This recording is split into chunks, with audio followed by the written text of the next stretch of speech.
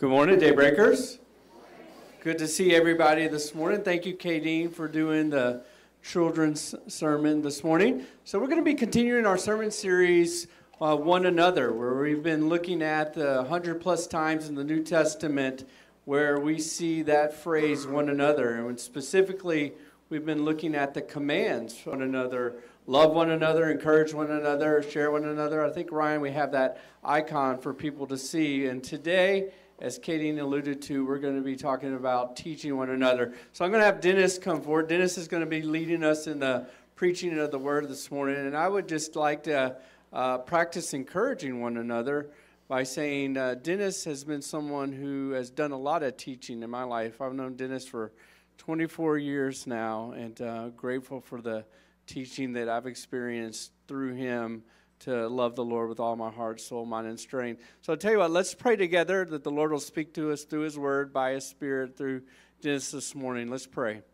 So, Father, it's good to gather in your name and to focus our attention upon you, your Son, Jesus, his lordship over our lives, and to think about how we're to admonish one another, love one another, teach one another we just pray that by your Spirit, through your word this morning, that you would do just that, that you would uh, teach us. And we open up our hearts, we give you our attention, we give you our focus, we give you our worship this morning.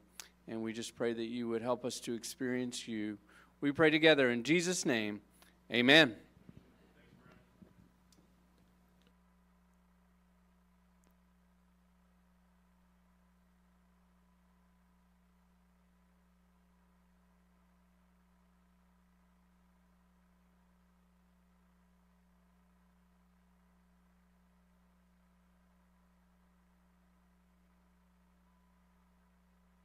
Now?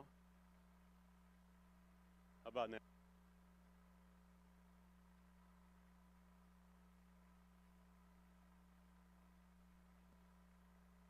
On, on, one. Says on. There you go. Hey, hey, hey, hey. Should I repeat myself? Hey, hey, hey, hey, hey. Uh, as I was saying, this is our final moment. You can all go home and grab your extra hour. Boy, that fall fall ahead, that spring back thing is kind of brutal, isn't it? I want to welcome my son Sam and his wife Kay here. They attend a church in Burlington called The Well. Great to have them here this morning.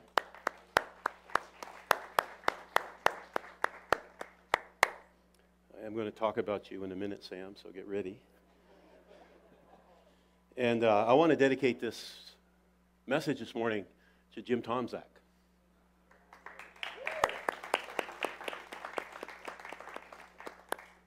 Uh, Kay is here. Daughter Kathy from the Atlanta area is here. And, you know, if you knew Jim, he was in our small group, right, Martha, for a long time. And the man was, he was tall and thin. And he was a, what Isaiah 61 says, he was an oak of righteousness, the planting of the Lord, that he might be glorified. That's what, that's who Jim was. That's what he represented.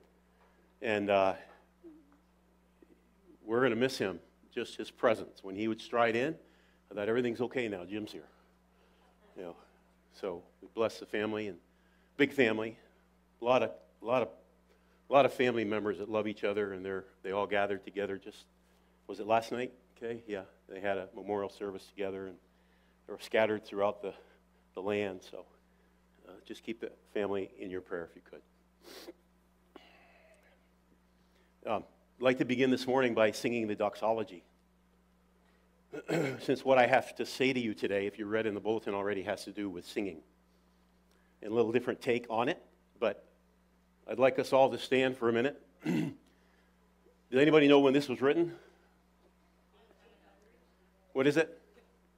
1600s, right. Doxology just means praise, a hymn of praise, right? You guys all know this? Yeah, now you do. One thing about singing is it brings us, it kind of levels the playing field, brings us all together. It kind of brings a commonality. Immediately, it's there because we're singing the same thing and, and believing the same thing. So let's sing that together. Praise God from whom all blessings flow. Praise him, all creatures here below. Praise him above, ye heavenly. Let's hear it now. Praise Father, Son, and Holy Ghost. Let's pray, Father. We just delight to sing because you put singing, as one of our songs says, you put singing in our heart. And today we want to expand that whole issue of singing and what it means to us and how important it is and what it does to your body and, and while it worships and adores you. So thank you for your word. Thank you for everybody here this morning and for those that aren't here. My goodness, we know that you have plans for good, plans for welfare, to give us a future and a hope. So we stand on your word this morning in faith. In Jesus' name, amen. Thank you. You may be seated. Back in uh, 1973, uh, I was a senior in high school, and I was on the soccer team. And uh, I think I have a picture here of Denny Boy. Can you pick me out? It's a little small, isn't it? I'm kind of center back. There I am. Yeah, much younger. My hair was red and I love to run. And uh, that year, if you look two people to the right of me, there's a guy named Mike. I won't give his last name. But Mike was probably the best soccer player in the state of Vermont that year. The only problem was he was always hurt. So nobody knew that he was the best soccer player in the state of Vermont. Skill wise, I was a pretty good defender. I was a fullback, halfback kind of guy. Go get the ball from you. I could not get the ball away from this guy. He was an English guy from England, and they just have this DNA with soccer. So I would try to get the ball away from him, and he would laugh at me. And, and, and so he was hurt. But after, after that year, we all graduated. Mike went down to Virginia, and he walked on to a Division One school that was a top 20 school in the nation. He was not recruited. He walked onto the team and made the team. That's how good Mike was. So Mike played there and was, you know, growing in his ability to compete at that level. And one night he was at a party and there was a balcony and on the balcony was a couch. And he and a few other people all, this, uh, all at once sat down on that couch. And the couch actually flipped backwards, went through the balcony, and, and it's on the second story, and he ended up on the ground. Since that time, Mike has been in a wheelchair. Mike, uh, I've seen Mike a lot after that. And what happened with Mike is that through that incident, he found the Lord, or the Lord found him. And during that time, while he was going through all this, I myself was finding the Lord and came to the Lord. We both had very dramatic conversions. And one day, Mike called me up. He was sometimes in Florida, sometimes in Vermont. He called me up and said, Dennis, let's go to church tonight. Now, I was in a very traditional church I'd been in all my life. I was newly born again. But, I, but he said, why don't we just go to this other church that was more of church like this? And I said, okay, I'll go. So I walked in, and I can honestly tell you that I don't remember what the sermon was all about. I don't remember what was said at that meeting. All I remember is that when I walked in, I saw a bunch of people worshiping. There were smatterings of hands that were lifted up. There were people that were just with their faces turned up. They were worshiping God. And while they were worshiping God, they were not aware that it was really affecting me. I was really being affected by watching them worship. I saw their, their passion, I saw their commitment. I saw their gratitude. I saw their trust. And, and I even heard a little bit of their theology in that. And so they were communi- communicating something to me that was calling me forward. I thought, I, I want whatever they got right there, I want a little bit of that. There was something stirring in my heart. You are so nice. Let's give Tina a hand. That's what Tina does all the time. Tina serves, and nobody knows it. That's it. So, so I was being brought forward. They were like this, worshiping the Lord, didn't know how it was affecting me. That moment is still frozen in time. I can almost tell you people and what they were wearing and the whole thing, watching these people in the back worship. Now, when we sing in worship, I'm going to use that term interchangeable. Some people say we just sang three songs. Other people would say we just worshiped with three songs. However, you want to say it, most of us that we don't often think that it's affecting the people around us. We tend to think one dimensionally, like, Lord, you and me, I'm here to worship you today.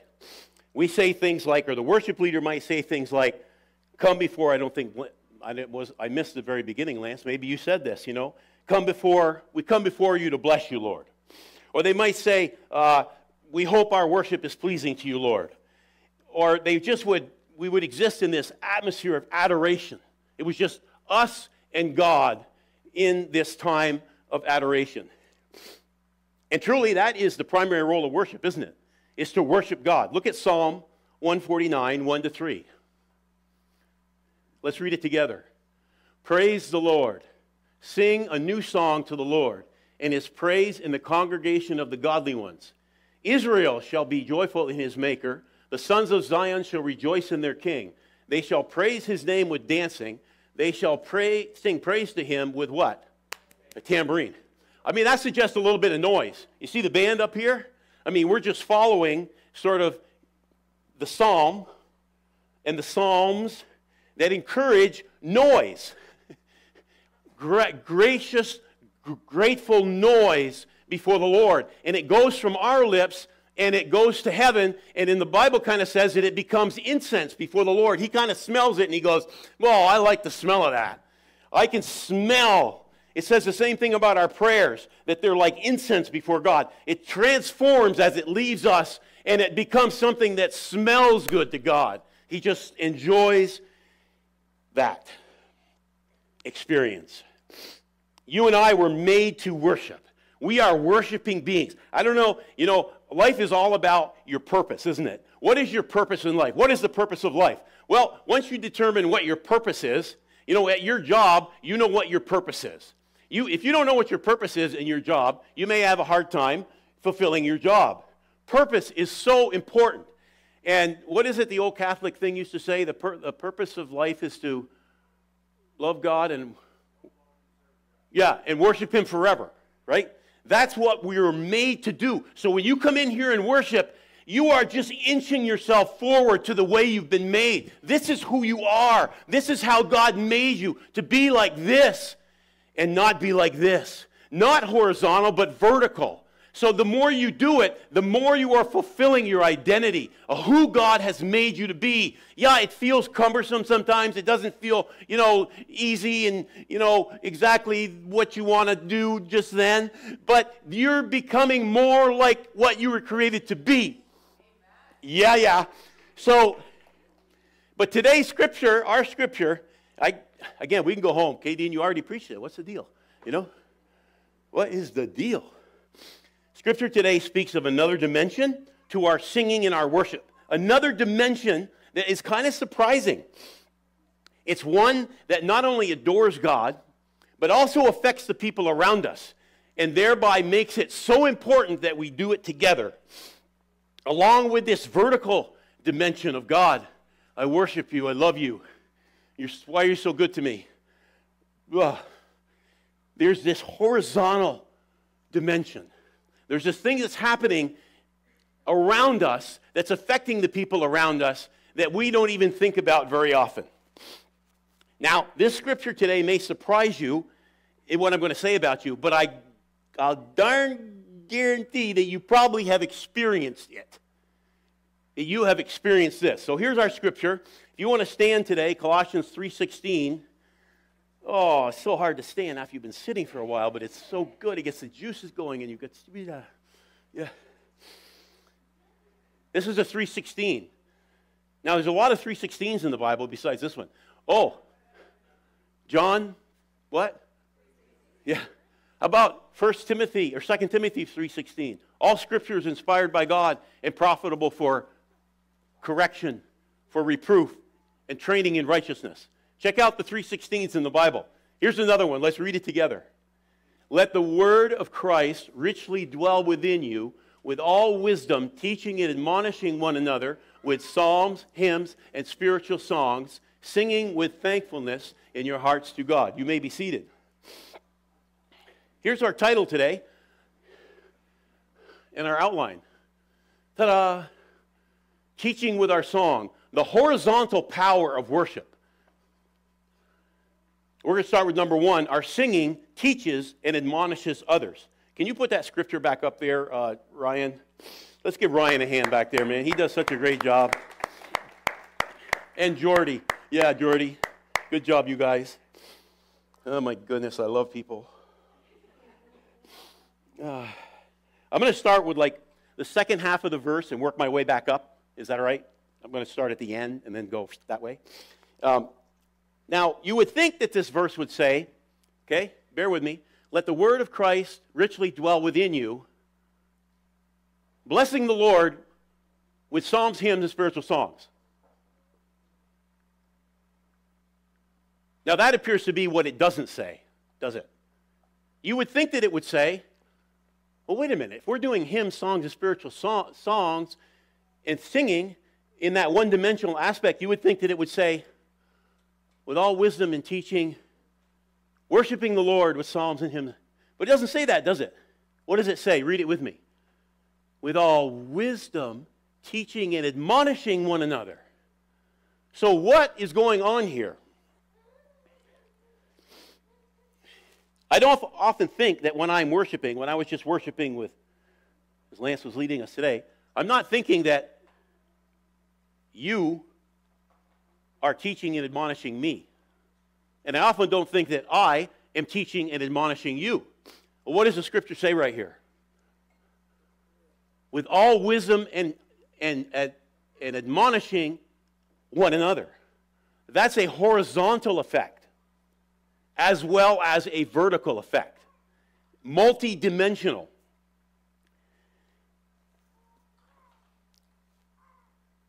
Teach and admonish. We got those words. Think of these words teach and admonish. I think we got them on the screen. Teach and admonish. Teach, everybody say that. Teach and admonish. Teach and admonish. When you come to, when we get to done the service today and Lance leads us a couple more songs, I want you to think about teach and admonish. That what you are, are doing just then may be affecting the people around you by, by your worship. You know, we often think, oh, you know, I can't wait for worship. I mean, worship for me is the best part. I mean, I've been a worship leader for years also. And I've preached. Being a worship leader is really fun. It's the best job on earth. It's just, yeah, you just. So, what's happening in that worship it appears from the scripture there's a lot more happening than we think. Right? Yeah. Scripture says something else is going on. That part of the purpose of singing is to affect the people around us. And I'll show you in a minute how that works. Now, I, when I think of teaching and admonishing, I, I usually think of words that are spoken, right? Like we speak words. So when we teach, we speak words. We don't sing words. We, yeah, you got it. Usually, word, usually that is done by speaking. Kind of what I'm doing now. In fact, you and I, most of us went through 12, at least 12 years of school, and then we did other school, maybe maybe another four, eight, who knows how many years. And we sat there and listened to somebody teach through talking and speaking with words. That's what they did to us our parents would, we would be taught by our kids, our, our, our kids would be taught by their parents. You know, you very seldom didn't hear the mother say, Oh, Johnny, please pick up the toys in your, in your playroom. She wouldn't sing that, she would say that, right? And then, Oh, oh, Billy, please, when you leave the house, don't forget to make your bed. Oh, oh, oh. That's pretty bad. I've had a cold for five years, so I just. But, you know, the point is, we, we don't sing teaching and admonishing, we say it. it. It's what we do. You know, I, I've never heard Brent sing a sermon. Although, are you preaching again before Jesse comes back? Who would vote that, Je- that Brent sings his sermon? All right. All those in favor say aye, right? this is on tape, right? This is good. Not tape, but, you know, uh, old days. I've never heard Jesse sing a sermon. You know, I went to watch my son Sam. He's a professor and a researcher at UVM, electrical engineering department, and I went to listen to him teach. And I didn't hear him say, you know, oh, the inversion factor we use to find the common base of the. Yeah. That's pretty bad, isn't it? I heard him teach. It was like being in the United Nations. There were people there from all over the place. It was amazing. But I heard him teach, and he taught by using words. But here, this scripture is suggesting that maybe by singing we can do some of the same thing. You know, there is the preaching of the church, and then there is the singing of the church. You realize most of what we do in Sunday morning, the largest blocks of time are given to what we just did at the beginning. We sang, right? The second largest block of time is what I'm doing now, the preaching. We have the singing and the preaching. And of course, Tony, the announcements. We can't have, not have the announcements. We have to have the announcements. But usually they're shorter. We do the thing with the kids, it's shorter. We, teach by talking. But there's a large amount of time giving to this the preaching of the church uh, or the singing of the church so apparently from this scripture you sing you teach and admonish me i sing and i teach and admonish you okay let's just see how it might work ready i have to blow my nose because i've had a cold for five years Anybody else raise their hand on that? Yeah. Doggone it all. Okay. One thing you don't want to do is blow your nose when you're up in front of a group of people. Okay. Hello. So you come to church and you're just not feeling it, man. Like, oh, I'm going to go to church. You're going to worship. Some people don't come for the worship. They come after the worship because they don't want to be there for the worship. I know people like that. They just, you know, they just try to not be around when people are singing. so you come to church and you're feeling yuck. It's been a tough week. Finances are down. You got a relational problem, a family problem, things going on at work. And then, and then you, so you're just, you're just kind of numb. You're walking in like, okay, I know all these people are going to sing now. There you go. Let them sing. And I'm just going to sit here and kind of bide my time. Well, suddenly this song comes up on the board. you know this song? Let's sing it. Been faithful. All my life you have been so, so good. With every breath that I am able, I will sing of the goodness of God. Now you're coming in and you're looking at that and you're going, Boy, I haven't been thinking very much about the goodness of God lately. I don't really know what I'm thinking these days. And yet, this scripture speaks of, I think it's uh, one of the Psalms. I think it's Psalm, I, th- I wrote it down here. I did not write it down here. Yes, I did. Psalm 136. Oh, give thanks to the Lord, for he is what? What? Suddenly, you're sitting back there going, you know what? I forgot about that. That song suddenly brings faith back into the heart. So suddenly you have just been taught and admonished by that song. Have you ever experienced that? Come on, let's be honest. Yeah, yeah, yeah. You, you walk in and you go, I don't want to be here. I don't want to sing. I can't stand the preaching today. Nothing's going my way and we got a little navel deal going on, not the Navy, but the navel. We're right here. We're looking at ourself, right? Ever since the fall, man's problem is we're looking at ourself.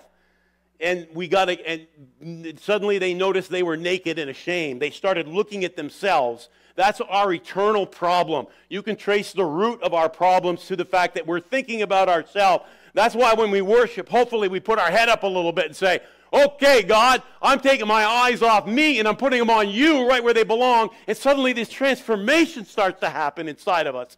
And we go, Why didn't I do this a few days ago? You suddenly you're, te- you're taught and you're admonished by the song that was just sung. And everybody in the room is going, Oh, yeah, God is good. Yeah, every, with every breath that I am able, oh, baby, I'm going to.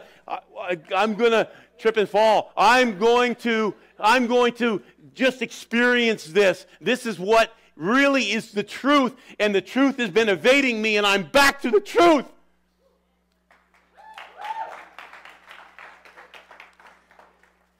And then, and then, you come in, and maybe your, your theology, you're wondering, is there really a God? Your theology is kind of wobbling a little bit. And suddenly, this song goes up. You've probably sung this before. Let's sing it. Go ahead. How sweet the sound that saved a wretch like me. I once was lost, but now I'm found was blind, but now I see. Oh, yeah, I forgot. It's by grace. I forgot that I'm a wretched and I. God's grace saved me. It's like the book of Romans and the book of Galatians and the book of Ephesians and the book of book of book of book all over the place. This little thing, I'm going to move it. I'm going to end up in your lap. Because, right? All of a sudden, your theology that needed a little bit of strengthening, right? While everybody else in here is singing the same song and they're going, Yeah, amazing grace. I can't believe the grace of God. Oh, wretched man that I am. Who will set me free from this body of death? The Lord Jesus Christ. And suddenly your theology begins to fire up again and your faith begins to fire up again. You were just taught and admonished. So if nobody sings it, nobody gets admonished. Nobody gets encouraged. Nobody gets exhorted. If we come in and we go,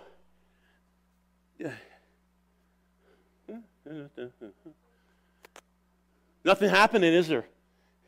But we come in and we say, I don't care if I don't feel like I'm going to offer sacrifice of praise today. I know this right thing to do. I know that God is worthy, that my feelings are as fickle as the weather. I'm going to give God the glory that is due his name. Then you come in on another Sunday and you got a problem as big as a mountain. You know, I love where I live in Williston. When we drive home the interstate, right, dear? We, we come over South Burlington and we hit the flats coming in five miles from Williston exit. And there's Mount Mansfield. And there's Bolton. And there's Camel's Hump. And you just feast your eyes. Every time you feast your eyes. We lived in Colorado, right at the base of what? Cheyenne Mountain and Mount no, yeah, NORAD, but what's the big, they climb the big mountain? Pikes Peak! oh, Pika Pika. We lived out there and the mountains were beautiful and you just, some, it's something that takes you away. It just takes your heart. It makes you sing. And, uh, and so you got a problem that's as big as those mountains and you come in and suddenly this song goes up. You know the song? Will somebody start it? Yeah, Come on, let's sing it. Forgive me. I have believed in a lie that you were unable to help me. But now, O oh Lord, I see my wrong. Heal my heart and show yourself strong. And in my eyes and with my song, O Lord, be magnified. O Lord, be magnified. Somebody once said that God, God made man in his image, and then man returned the favor. We bring God from here, we bring him down here. We bring our problems up here, and pretty soon we got this thing going. we're on under the pile instead of on top of the pile.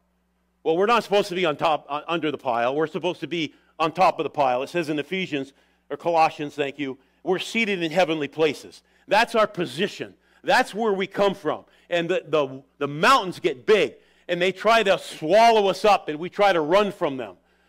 But then we come in and we see this song and go, oh, what a dummy. What's your problem? God, I brought you down to my size and lower because I don't really think you can handle it. I got to handle it. And pretty soon, hopefully, the song starts getting through. Suddenly, you and I, we've suddenly been taught and admonished. Our faith is, we're wobbling and our faith is starting to, to solidify again. And we go, yeah, yeah, man. I remember one time I was, my wife and I, we had invested some money with a friend that was in a group, a small group, a parenting group. We lived in Georgia, Kathy, Columbus, Georgia, right? Not far from where Kathy uh, lives. And we're there, and this guy said, Well, we got this investment, and his nephew, and he's a West Point graduate, and you should invest. So we invested with him. Yeah. Yeah, you know the end of that story. It didn't go well. And he ended up using all that money to pay for his living expenses. And call, I called him up one night, and he said, Your money's all gone. I cried. It wasn't a good time of life for that to happen. I said, But you know what? I've got to worship. I remember the story of the guy that he was overseas and his wife and his kids were killed in a car accident when he was over there and he was in the hotel room by himself and he just was dying on the inside and he said, God, I don't know what I'm going to do, but I've got to worship. I said to myself, I got to go worship somewhere. There was a church having a service that night, Maranatha. I went to that church and I worshiped my eyes out. My mountain was really big at that point. But God came back up like this. Because I watched these other people worship, and they carried me back in to where I needed to be. Yeah, yeah. Oh, my goodness. The word slimes you sometimes, doesn't it? The world, it slimes you. You come in and you're feeling like, oh, I haven't really been carrying myself like I should. I've been this and I've been that. And then this song, which I had in my notes and Mr. Lance back there had picked out. I love it when that happens. This song comes up. Let's sing it. Create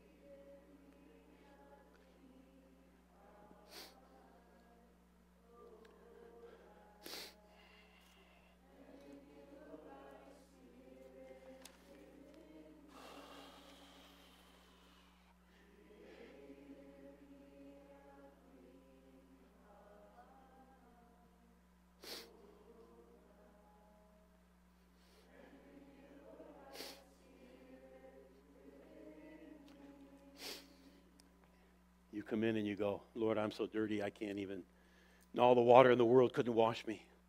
And then you start singing this song and you look around at the people and they're going, Oh, Lord. And then you realize somebody told you one time that the word create there is, is the same word that's used in the Bible in Genesis 1 1. In the beginning, God created. It's the same word. Same word.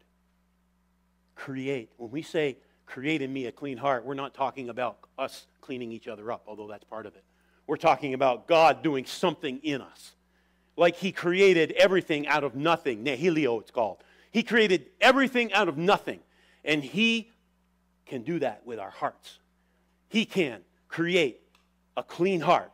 He said, a new heart. He said, I'll take that heart of stone out of you in Jeremiah, and I'm going to put a, a, a, heart of flesh in you so that you can breathe again. You can emote again in a healthy, godly way. You'll be an oak of righteousness. That will start happening in you because of what I do. He always said to Israel when they would just mess up so much and they would idolatrize and they do all these things. And he said, I'm going to come in and I'm going to clean you and I'm going to make you whole again. Now, that wasn't something Israel was going to do. That was something God did. Create in me a clean heart. Oh, my goodness. Teaching and admonishing. That's what's going on there. Embedded in song and worship is the ability to lift each other up in the midst of that singing and that worship. The word admonish, right? Put in the mind. It means maybe you got something in your mind that's not quite right. It's going to put something else where it belongs, right? Our problem, our battle is the mind, isn't it? What is in our mind, is it true or not? Truth is either truth. It's kind of like light and dark. You can't have dark when you have light. You can't have truth when you have lies. You can only have, did I say that right? Yeah. You, you, you can only, truth excludes lies. So you can't have light and dark. You can't have truth and lies. You can only have truth. Truth is what you shall know the what? Truth. And what will it do? It sets you free.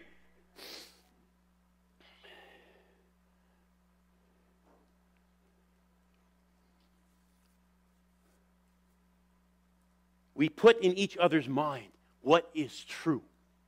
What is the truth here? What is the dealio here? And we lay down, we lay aside.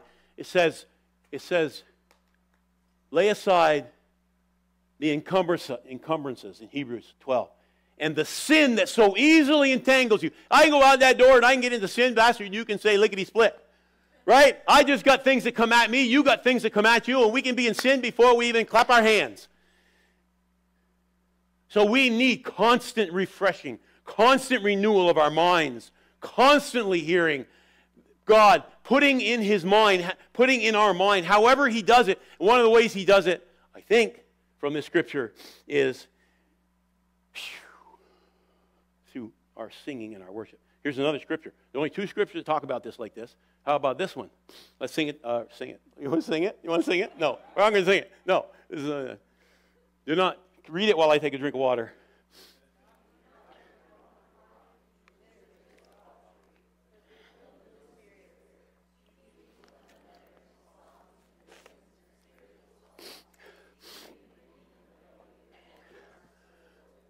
Now, notice what it doesn't say. It doesn't say, be filled with the Spirit, worshiping the, worshiping the Lord in psalms and hymns and spiritual songs. Now, that's what you think it would say, wouldn't you? Because that's what it says all over the Psalms. Worship the Lord. Give the Lord glory. Praise the Lord. La, la, la, la, la. Let everything that has breath, what? Praise the Lord. But what's it saying? Speaking and admonishing one another. You see how important our worship is? You know, we get kind of bored sometimes to come to church and we're going to do the same old thing. I'll tell you a story at the end. Bored is good. Being bored is good. I like bored. I like being bored. I like just steady as we go. I like that. I'll take off into the stratosphere when the time comes, but I like being bored. I like the, the just the constant presence of certain truth. Just people that leave church and they go off on their own. Oh my goodness, I can tell you stories. But what happens is they lose this, what we have in here, where we're singing together with a commonality of belief and trust and gratitude. And suddenly you talk to them and they're starting to believe something, and you're going, What? How did you come to that conclusion? You see, they get away from the commonality of what we have that sometimes seems very boring, but I like boring. Everybody say, I like boring. I like boring. I like to be bored with the truth. Because when the other stuff comes in, it can cause all manner of disruption. My goodness. So that's why we do it in the big group. We do it in here. We do it in the big group. You know, the, the church, they say, I, this is not mine, but it, it's two wings of an airplane. You have the big group and you have the small group. How many of you go to a small group now? Okay, small group is the best place to go ever. It's just, you, you go to the group and you just don't have somebody talking at you like I'm talking at you. You talk and you confer, you figure out what's going on in everybody's life. We listened to the testimonies in our group on Sunday, right? Uh, Tuesday night. Tuesday night. We listened to the testimonies. And we had Jesse there. And of course, Jesse's teaching on the screen, and then he's trying to talk over here. It was kind of funny. What's that, Jesse? But you go in the small group. I encourage you in your small group. Do a song. One song sometimes will change the whole meeting. It has a way of settling things down. It has a way of bringing a commonality. It has a way of just bringing people together. Oh, yeah, we sing that because we all believe that. Suddenly you're all together where you came out of wherever you were coming. A little song does this, it just brings you together. Pretty soon, you're feeling very good and very different. Just one song. Even a, call we did on this Tuesday was a chorus. I could feel the effect of it in me and in the people around me, I hope. I thought.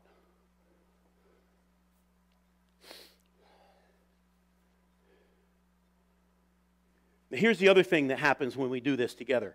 This second part of our outline, number two on the outline, says that our singing, and read it with me, our singing worship helps us maintain our spiritual equilibrium. Okay, what's equilibrium? Equilibrium is when you have two point. I should have get Sam up here to talk about this because he. Uh, although when Sam speaks, after about a minute, I don't know what he's saying because he's. I mean that in a good way. It's just, it's just, it's in the nano world, and I can't kind of, yeah. Equilibrium. Opposing forces are working on something, and it's stabilized. When this one's working, it's sort of vibrating again, wobbly. When this one's, working, right, it's stabilizing. Things are stabilized, right? Think of it in finances. With finances, we have money coming in, the input, and we have money going out. Which usually tends to go faster? Remember one of my kids, I think it was you, Sam, said, I can't believe how fast money goes out. it's like it has wings, doesn't it? Even the Bible says it in Proverbs don't set your money on money because it has wings. It's like gone before you even know it. You put a big deposit in the bank and then you go three days later and go, What happened? What, what the heck? It, it's just amazing. But in finances, we try, to, we try to find equilibrium so the amount of money coming in is equaling, or hopefully a little bit more, than the money going out. Like this, yeah. In, out. We're,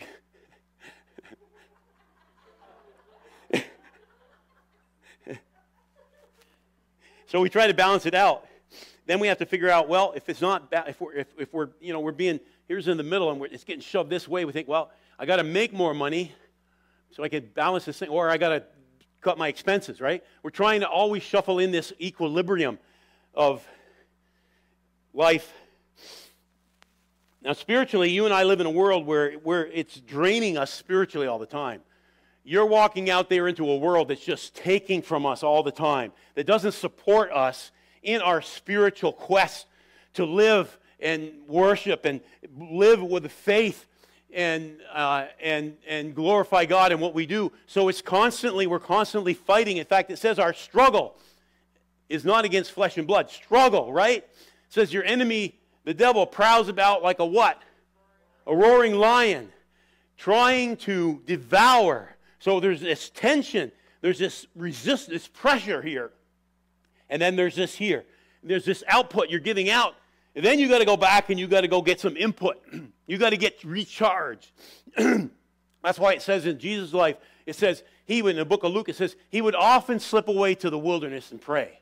I don't know why the Son of God had to pray so much, but he was the most praying man on the face of the earth. It says, with loud crying and tears in Hebrews, with loud crying and tears, uh, can't think of the verse now. He was crying to the one, oh my goodness, loud crying and tears, right? Hebrews. Generally, you like Hebrews, right? I know she does. It says, He offered up both prayer and supplication with loud crying, with tears to the one able to save him from death. You know, you think about Jesus, the little halo that we grew up with, that wasn't Jesus. This is Jesus. He said he offered up both prayers and supplication with loud crying and tears to the one able to save him from death. And he was heard because of his piety. I'm listening to a pastor the other day. He's the pastor of the largest church in the world in Korea. He said, I get up in the morning like a dying man. He said, like, I don't have any oxygen. I need the Lord. I cry out to God for more help. I'm like a dying man that doesn't have oxygen. I need the Lord. I need Him. That's how Jesus lived. So we have to recharge. We can't just come on Sunday morning. My goodness, this is great, but this is nothing. Yeah, no, I don't mean it's nothing. You know what I mean. It's just not everything. You can get what you can get, but when I ask you two days from now, what was the sermon about? You go, I don't know, some redhead guy was up there talking. I don't know what he's saying. You, we don't remember the sermon, right? Maybe you will remember this sermon. I don't know. I only remember a few in my life. But you know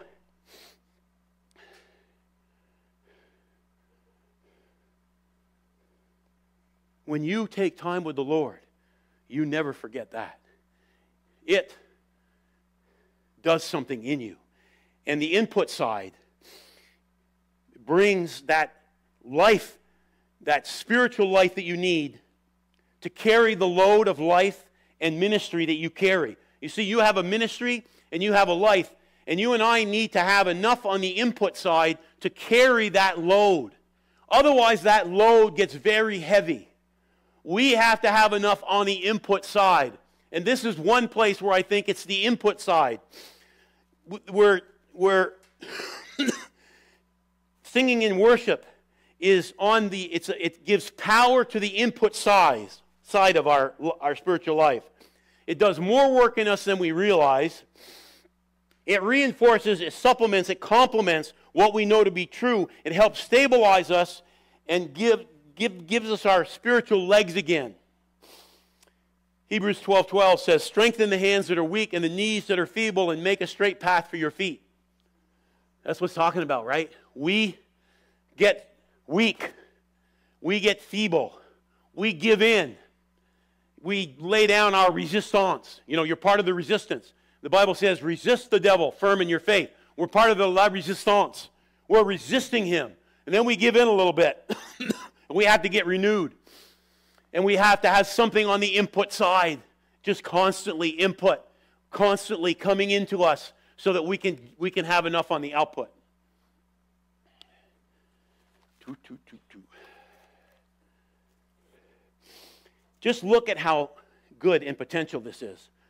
Look, would you rather have one attaboy or a hundred attaboys?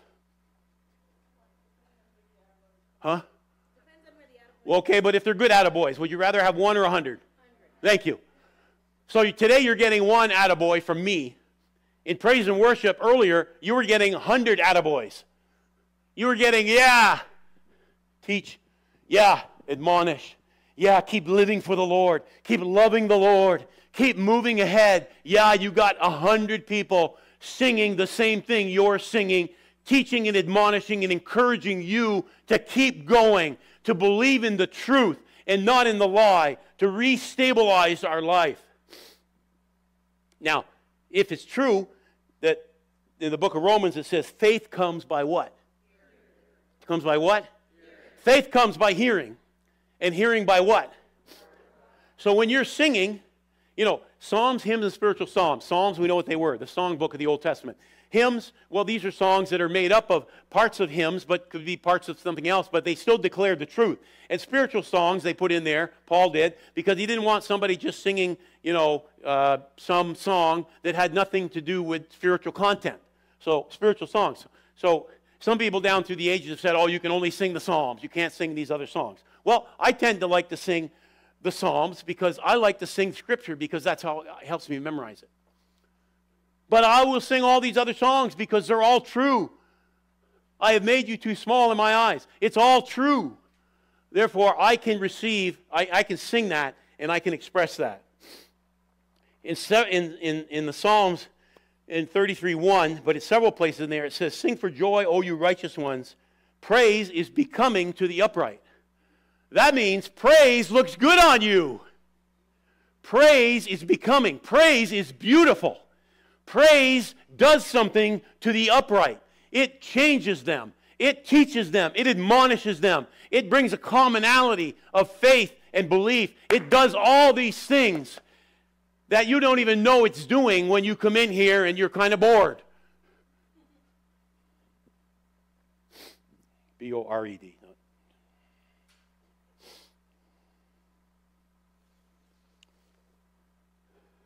you can see what we miss if we don't do this. If all of a sudden the church, the church said, you know what, we're not going to do worship anymore. We're just going to preach. Boy, we'd be arguing with the scripture, wouldn't we? So, you know, why we do what we do, why we do what we do, always has to come out of scripture, doesn't it? You can see it in those two scriptures. Preaching, remember, is the primary way that God gets through to us. It's the primary method of evangelization. Preaching will always be, as it was in the book of Acts, the place where God really does his work. But singing, the preaching church, but the singing church is the one that builds up and edifies the body. builds up and edifies the body. One is not better than the other. One has a different purpose at times than the other. But you know what? There are places around the world where people go out and they sing in the streets. They just worship in the street because they want to bring that same thing that happens when somebody preaches is they want to bring the truth out to the streets. You can look it up on YouTube and see all these wonderful celebrations that are going on because people are preaching, uh, singing, and it's affecting people around them. So, to realize this maximum, here's my final point. Uh, yeah. To realize the maximum potential of this, to realize the maximum potential. There's one thing we have to do. Colossians 3:16a. I'm going backwards now. Let's read together.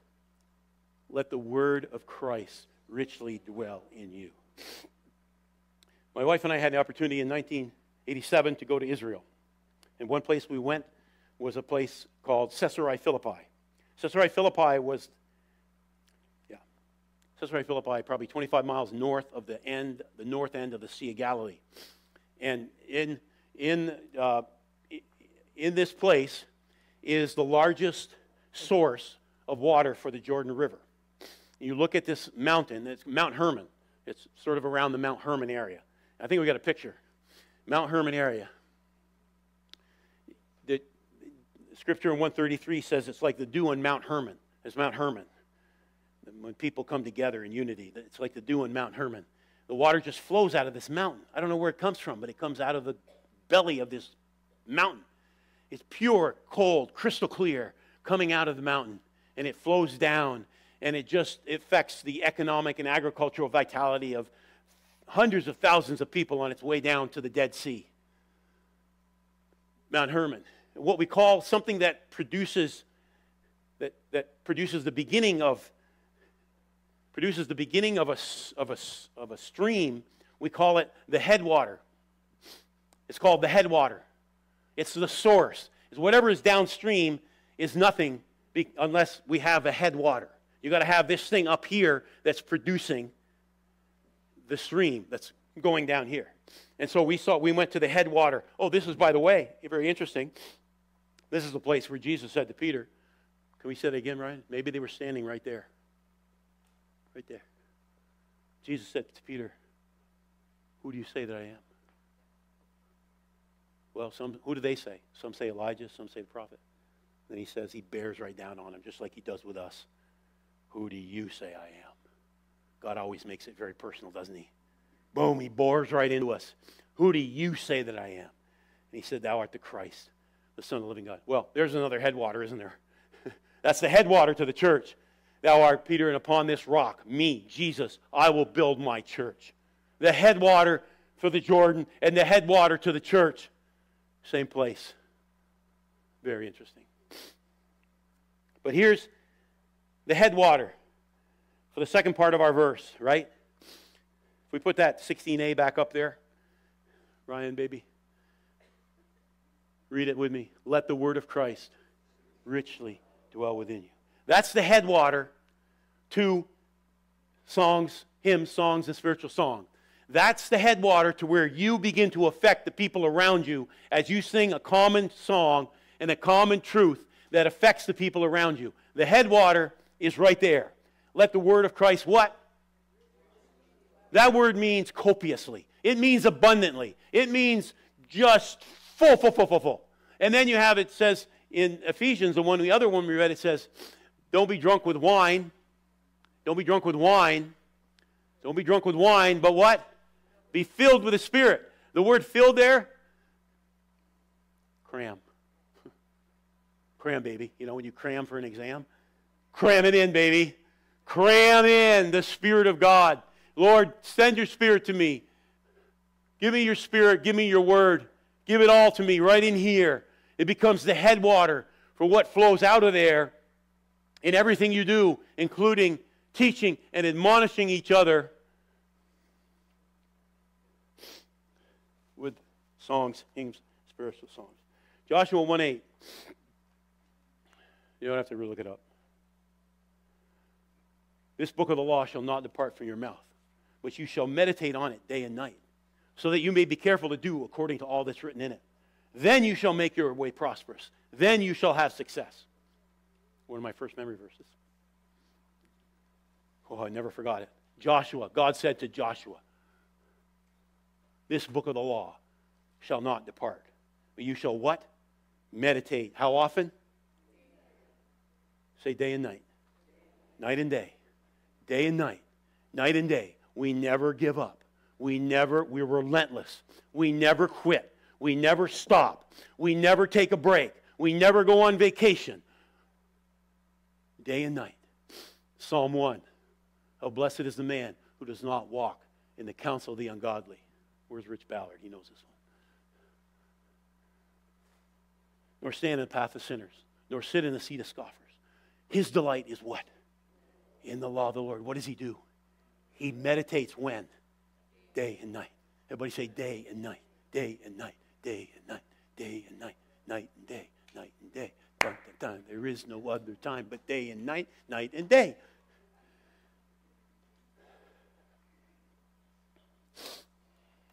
That's what we have to build is a headwater. We have to ha- build a headwater. There, out of that headwater will come this flow, like the Jordan River. It will flow down and it will water everybody and everything around it animals, livestock, people, vegetables. And it will have its effect that you can't even imagine that it has. So the band can come back up. I'm getting out of here. Because we're going to practice a little bit more of this right now. Right, Nikolai? Come on, baby. We're going to practice a little bit more of this right now. We're going to, and listen, maybe with new ears now. What you're doing is affecting the people around you. When you speak the truth, someone else is hearing it. They may not be having a good day. You may not be having a good day. but remember what the scripture says right here, what the effect is going to be. And we'll all benefit from it. So long.